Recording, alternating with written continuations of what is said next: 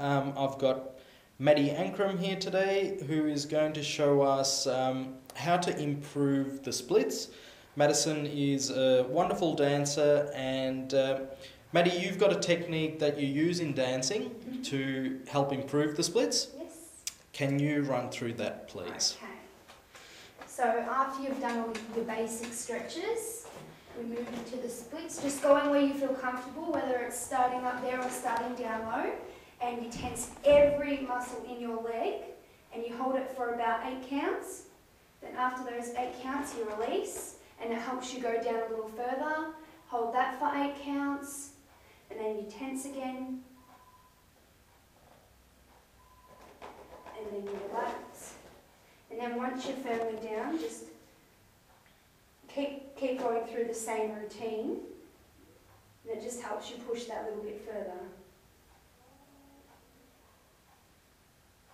So each time you're contracting all the le- muscles in the legs, especially, can you just point to your quads? So the quads there and also at the back, is it? Yep.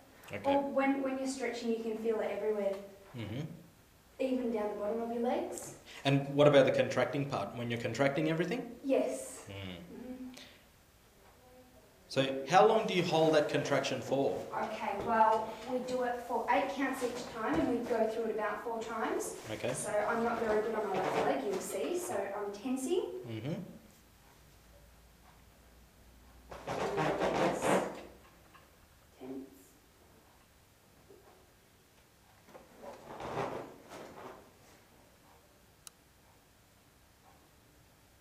You have to squeeze as hard as you can if you want to get lower. And generally in dancing, how long does this routine normally take? Maybe about a minute max. Okay. So you guys stretch to songs. Is this another one where you'd stretch to a song? Yes. And then after we've done those exercises, we move on to the middle splits. hmm I best advise that you keep your feet flexed up when you're going down. And then tense.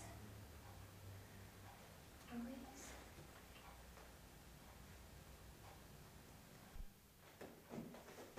That's as far as I can go, but keep.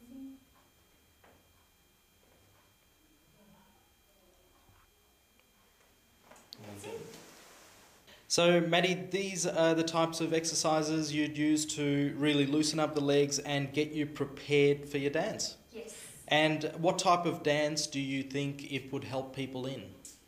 Okay, well, the leg exercises can help you in acrobatics.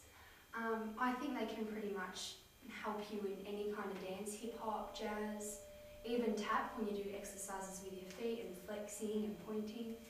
Um, yeah, pretty much any kind of dance, ballet, Great.